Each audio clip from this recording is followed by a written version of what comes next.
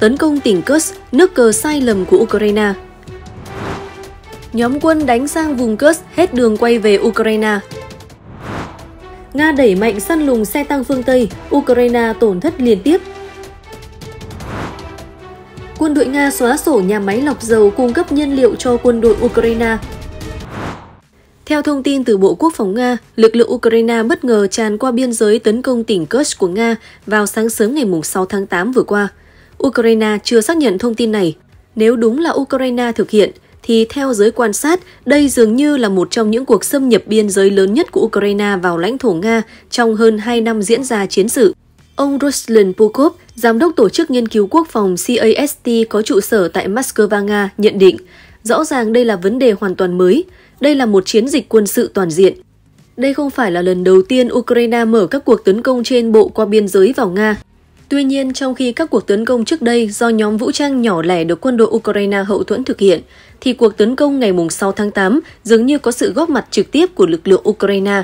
Theo nhà quan sát Pasi Paronen, theo Bộ Quốc phòng Nga, khoảng 1.000 lính Ukraine và hàng chục xe bọc thép của Ukraine, bao gồm xe tăng, xe bọc thép chở quân Striker do Mỹ sản xuất, được sự yểm trợ của máy bay không người lái UAV và các hệ thống phòng không đã tham gia cuộc tấn công này. Lực lượng Nga đã đáp trả bằng pháo binh, không kích và nã tên lửa đạn đạo vào quân Ukraine xâm nhập biên giới. Cuộc giao tranh xảy ra suốt đêm và kéo dài sang ngày 7 tháng 8. Vào ngày 7 tháng 8, Tổng tham mưu trưởng Nga Valery Gerasimov báo cáo với Tổng thống Nga Putin rằng cuộc tấn công của Ukraine đã được ngăn chặn. Quân Nga đã khiến 315 lính Ukraine thương vong, trong đó ít nhất 100 lính thiệt mạng và 54 xe bọc thép của Ukraine bị phá hủy.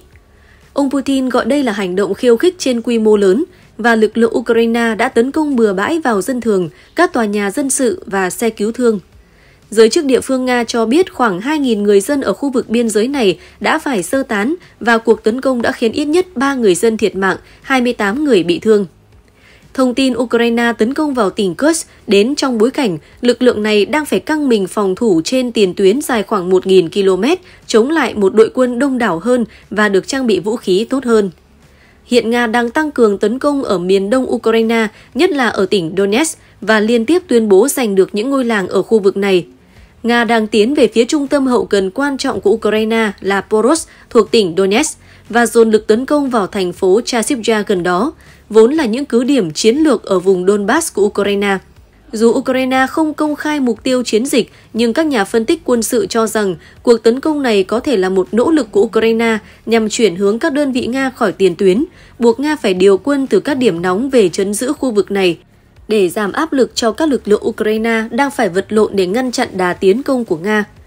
Tuy nhiên, theo các chuyên gia cũng cho rằng quân đội Nga có đủ lực lượng dự bị để tham gia chiến đấu và cuộc tấn công của Ukraine có nguy cơ phản tác dụng khi phải gian mỏng thêm lực lượng vốn đã ít ỏi của mình. Nhà quan sát quân sự Paronen nhận định rằng, về mặt hoạt động và chiến lược, cuộc tấn công này hoàn toàn là vô nghĩa. Có vẻ như đây là sự lãng phí lớn về nhân lực và tài nguyên của Ukraine, vốn rất cần thiết ở những mặt trận khác. Ông Robley, thành viên cấp cao tại Viện Nghiên cứu Chính sách Đối ngoại có trụ sở tại Mỹ, đã viết trên mạng xã hội X rằng cuộc tấn công của Ukraine có ít tác động đến chiến sự ở Ukraine. Ông Lee cũng cho rằng nếu mục tiêu của cuộc tấn công tuần này là để chuyển hướng quân đội Nga khỏi các khu vực khác của mặt trận, thì khả năng thành công là rất thấp. Theo ông Lee, Nga có lực lượng, trang thiết bị lớn, khả năng chỉ huy và kiểm soát cũng tốt, cũng như có các đơn vị nghĩa vụ có thể triển khai đóng ở khu vực dọc theo biên giới tỉnh Kharkiv. Do đó, Nga có thể điều động những nguồn lực này tới giải quyết thay vì rút quân khỏi vùng Donbass, miền đông Ukraine. Còn ông Nick Draynoy, nghiên cứu viên về chiến tranh trên bộ tại Viện Dịch vụ Thống nhất Hoàng gia Anh có trụ sở tại London, Anh, nhấn mạnh rằng Ukraine không thể mở mặt trận thứ hai, họ cần ổn định tiền tuyến ở Donbass. Chính quyền Washington nói rằng phía Mỹ không biết tại sao Ukraine lại mở chiến dịch này và đã liên hệ với Kiev để tìm hiểu thêm về mục tiêu chiến dịch. Tờ The Wall Street Journal dẫn lời một quan chức Mỹ giấu tên cho biết, đánh giá sơ bộ của Mỹ cho rằng việc Ukraine tấn công tỉnh Kursk là phản ứng trước các cuộc tấn công xuyên biên giới mà Nga tiến hành và được hỗ trợ từ tỉnh Kursk. Nga đang bao vây chia cắt lực lượng Ukraine ở vùng Kursk, cắt đứt tuyến đường tiếp viện từ Ukraine sang, khiến cho nhóm quân này bị cô lập hoàn toàn. Theo giới truyền thông, quân đội Nga tiếp tục loại bỏ khả năng chiến đấu của nhóm quân thuộc lực lượng vũ trang Ukraine đã tham gia vào cuộc tấn công vào khu vực Kursk của Nga. Sáng nay, phóng viên quân sự Nga Alexander Slakov xác nhận, bất chấp nhiều thông tin tuyên truyền từ các nhà tâm lý Kiev, lực lượng tấn công của Ukraine vẫn không thể chiếm được khu vực trung tâm Suza. Sau khi thất bại trong việc đánh chiếm Suza, quân Ukraine đã quay về phía Korenevo, nhưng cũng không đạt được mục đích. Hiện cuộc tấn công của lực lượng vũ trang Ukraine vào hậu phương của Nga vẫn đang tiếp tục. Quân Nga đang nỗ lực tiêu diệt các đơn vị đã tiến vào khu vực Kursk. Thông tin của truyền thông Nga cho biết máy bay chiến đấu và tên lửa đạn đạo chiến thuật Iskander Nga đã phá hủy thiết bị phía sau phòng tuyến của đối phương, ở lãnh thổ vùng Sumy giáp biên giới Liên bang Nga. Bộ Quốc phòng Nga đã trình chiếu đoạn phim mới về cảnh một cụm thiết bị Ukraine bị phá hủy. Để thực hiện cuộc tấn công, một tên lửa Iskander có đầu đạn chùm đã được sử dụng, giúp có thể phá hủy cùng lúc một số phương tiện chiến đấu của lực lượng vũ trang Ukraine. Hiện nay, máy bay chiến đấu của Nga, chủ yếu là Su-25, đang tích cực hoạt động phía sau phòng tuyến của Ukraine và cắt đứt các tuyến tiếp tế cho lực lượng đột kích trong lãnh thổ Nga, đồng thời giáng những đòn mạnh mẽ vào điểm tập kết lực lượng dự bị ở Sumy, không để lực lượng này di chuyển đến hỗ trợ nhóm quân ở vùng Kursk. Những cuộc tấn công như vậy vào phía sau sẽ làm phức tạp thêm việc tiếp tế cho các đơn vị Ukraine đã tiến sâu vào lãnh thổ Nga từ 10 đến 15 km. Trong khi đó, lực lượng dự bị của quân đội Nga, đặc biệt là lực lượng dù đã được điều đến Kursk, di chuyển đến khu vực bị đột phá, tiến hành bao vây, chia cắt lực lượng đối phương. Cuối cùng, nhóm quân Ukraine sẽ bị cắt nguồn cung cấp và bị bao vây, không thể trụ lại được trong lãnh thổ Nga mà cũng không còn đường trở về lãnh thổ. Trước mắt, nhóm quân Ukraine đang hiện diện trong vùng Kursk của Nga sẽ chỉ có hai sự lựa chọn, hoặc là đầu hàng, hoặc là bị tiêu diệt. EU ca ngợi vụ thâm nhập vào lãnh thổ Nga là quyền tự vệ của Ukraine. Người phát ngôn Ủy ban châu Âu Peter Stano tái khẳng định sự ủng hộ của khối đối với Kiev sau cuộc tấn công xuyên biên giới vào vùng Kursk của Nga. Người phát ngôn Ủy ban châu Âu Peter Stano cho biết Liên minh châu Âu EU hoàn toàn ủng hộ các hành động của lực lượng Ukraine, bao gồm cả việc tấn công lãnh thổ Nga. Tuyên bố này được đưa ra một ngày sau khi Ukraine tiến hành một cuộc đột kích xuyên biên giới quy mô lớn vào vùng Kursk của Nga vào sáng sớm ngày 6 tháng 8. Theo quyền thống đốc của Kursk, Alexei sminov ít nhất 5 thường dân đã thiệt mạng trong cuộc tấn công này. Bộ Y tế Nga cho biết vào cuối ngày 7 tháng 8 rằng 31 người khác, trong đó có 6 trẻ em đã bị thương trong vụ pháo kích của Ukraine vào thị trấn Suza. Tổng thống Nga Putin gọi cuộc tấn công Kursk là một hành động khiêu khích quy mô lớn khác của Kiev, cáo buộc quân đội Ukraine cố tình nhắm vào thường dân. Bình luận về cuộc đột kích, ông Stano cho biết Ukraine có quyền tự vệ, bao gồm cả việc tấn công kẻ xâm lược trên lãnh thổ của mình. Người phát ngôn này nói rằng EU tiếp tục ủng hộ đầy đủ quyền tự vệ hợp pháp của Ukraine và giành lại các vùng lãnh thổ đã mất của mình. Kiev coi vùng Kherson và Zaporozhye, Donetsk và Lugansk cũng như bán đảo Crimea là một phần của Ukraine. Bộ Quốc phòng Nga vào hôm 7 tháng 8 cho biết lực lượng Ukraine lên tới hàng nghìn người, được hỗ trợ bởi xe tăng và pháo binh đã di chuyển qua biên giới trong nỗ lực chiếm giữ quận Suzinki thuộc vùng Kursk của Nga. Bộ Quốc phòng Nga cho biết và báo cáo rằng cuộc tấn công của Ukraine đã bị chặn đứng. Trong cuộc tấn công, lực lượng của Kiev đã có ít nhất 315 người thương vong với hơn 100 người thiệt mạng và số còn lại bị thương tính đến ngày 7 tháng 8. Tổng tham mưu trưởng Nga Valery Gerasimov đưa tin. Ông cho biết Ukraine cũng mất ít nhất 54 xe bọc thép, trong đó có 7 xe tăng trong đợt tấn công. Người phát ngôn Bộ Ngoại giao Nga Maria Zakharova gọi vụ thâm nhập này là một cuộc tấn công khủng bố quy mô lớn.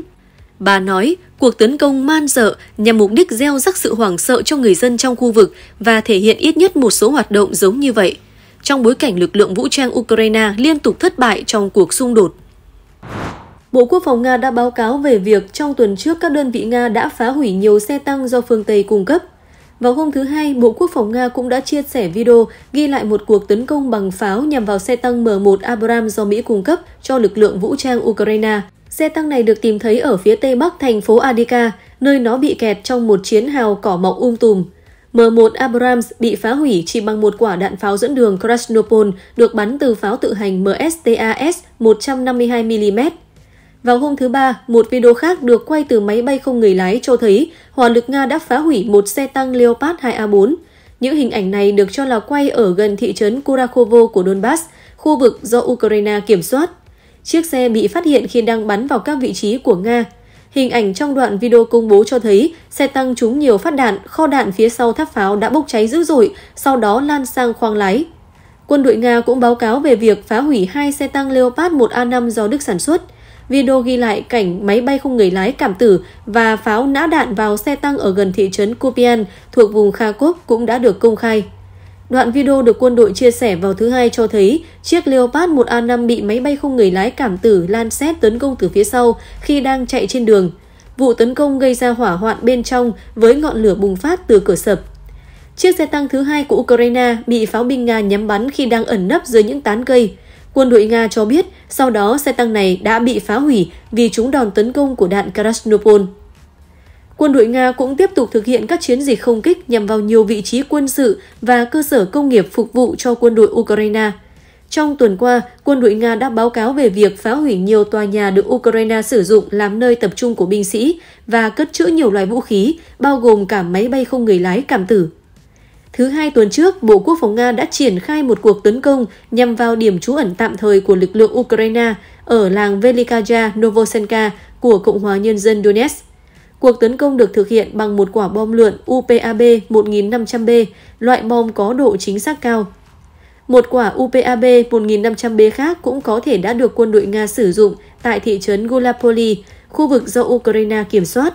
Quả bom cũng đã tấn công chính xác vào điểm lưu trú quân tạm thời của Ukraine. Ở thị trấn Lipsy thuộc vùng Kharkov, quân đội Nga cũng đã triển khai cuộc tấn công nhằm vào một cơ sở quân sự khác của Ukraine. Từ video ghi lại khoảnh khắc tấn công, có thể thấy quả bom khổng lồ đã đánh trúng tòa nhà.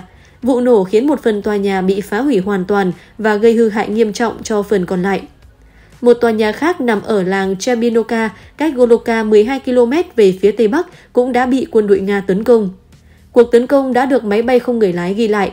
Hình ảnh từ video công khai cho thấy tòa nhà bị trúng một tên lửa phóng từ trên không, có thể là KH-38 và gây ra những thiệt hại nghiêm trọng.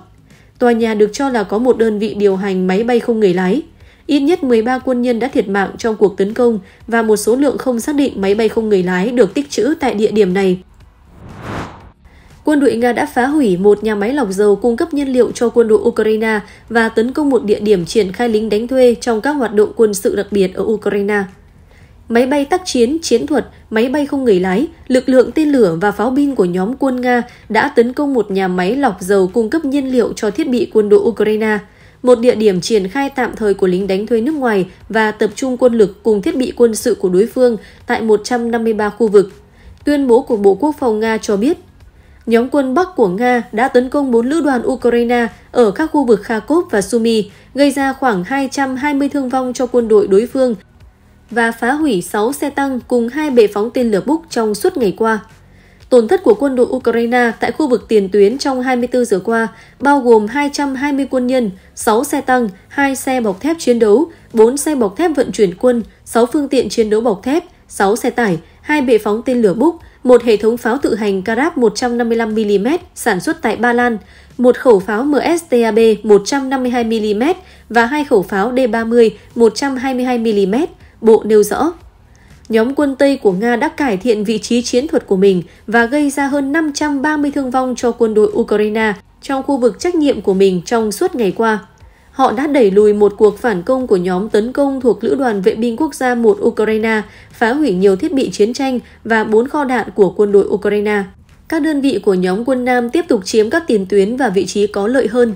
Họ đã gây thiệt hại cho lực lượng và thiết bị của Lữ đoàn cơ giới 24 và 61, Lữ đoàn tấn công 5 và 10 của quân đội Ukraine ở các khu vực gần các khu định cư Chasovja, Bretechino và Konstantinoka ở Cộng hòa Nhân dân Donetsk. Họ cũng đã đẩy lùi một cuộc phản công của Ukraine, gây ra nhiều thiệt hại cho vũ khí viện trợ từ nước ngoài. Tổng thống Nga Putin đã triệu tập cuộc họp khẩn cấp với giới chức an ninh nước này sau khi khoảng 1.000 lính Ukraine đột kích vào vùng biên giới Kursk.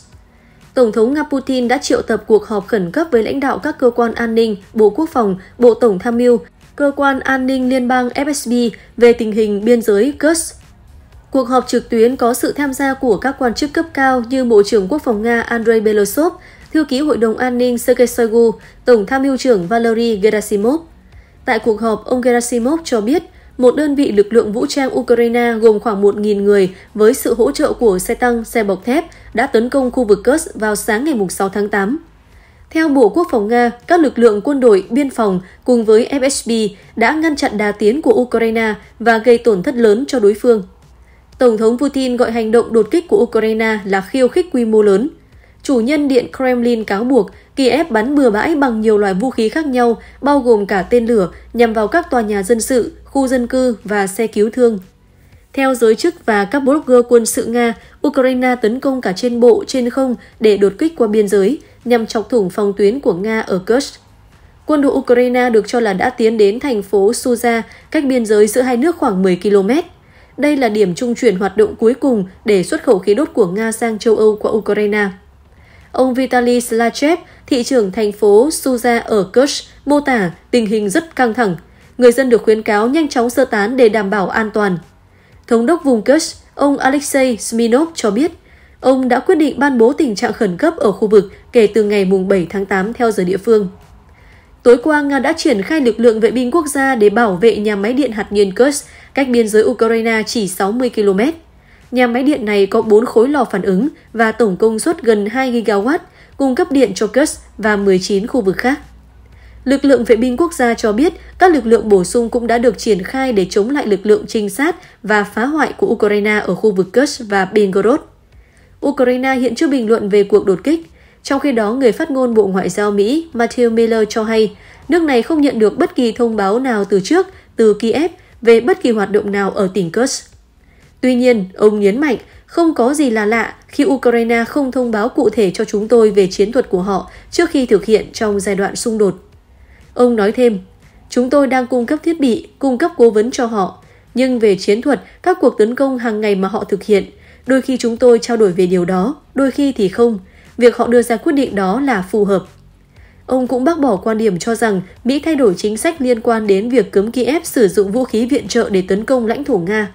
Chính sách của chúng tôi không thay đổi, hành động của Ukraine hiện nay không vi phạm chính sách của chúng tôi, ông Miller nói. Đến đây thời lượng của bản tin cũng đã kết thúc. Mời quý vị ấn đăng ký kênh để không bỏ lỡ những thông tin mới nhất. Xin chào và hẹn gặp lại!